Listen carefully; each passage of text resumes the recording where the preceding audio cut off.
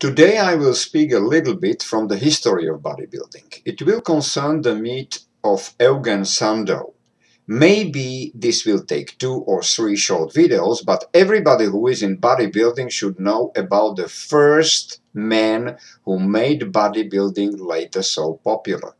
Eugen Sandow is the biggest symbol for bodybuilding in its whole history. His body is incorporated into the Mr. Olympia statue for the winners of this competition.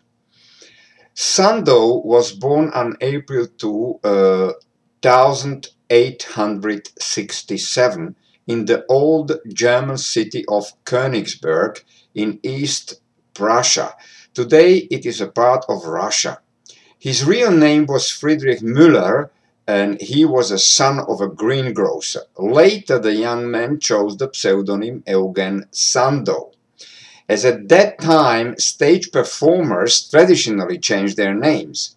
Sandow was blessed with a great natural physique and the intelligence to use it.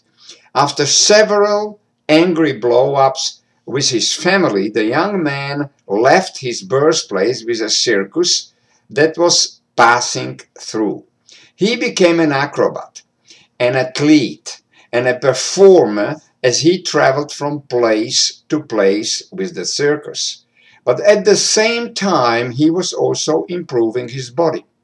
The gymnastics and acrobatics were hardening and sharpening his muscles to a remarkable degree.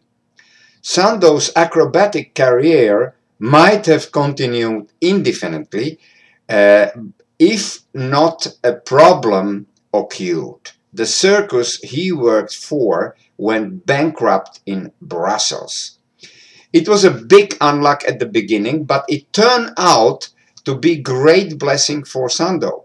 In the Belgian capital lived certain entertainer called Louis Attila, a professional strongman and early instructor in physical culture who immediately saw in Sandow a truly great athlete.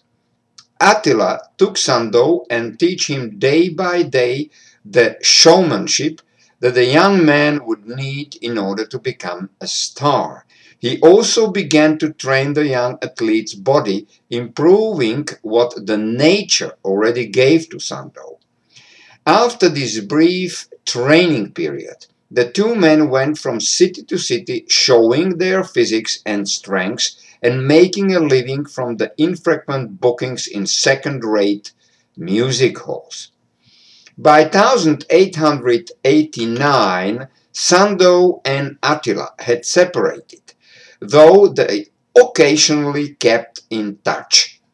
Attila settled in London and Sandow traveled around Europe eventually ending up in Venice in Italy. While bathing in the Adriatic, Sandow was spotted by an American artist, Aubrey Hunt, who painted a magnificent portrait of a young athlete. While Sandow was posing for this painting, he learned from Attila of a challenge which he knew Sandow couldn't refuse. Performing in London at this time were two professional strongmen named Samson and Cyclops. Neither man was particularly strong, but they had a range and act where the leader of the duo, Samson, taunted his audience with a nightly dare he would present the price of 500 British pounds to anyone who could equal the strength and lifting of that duo.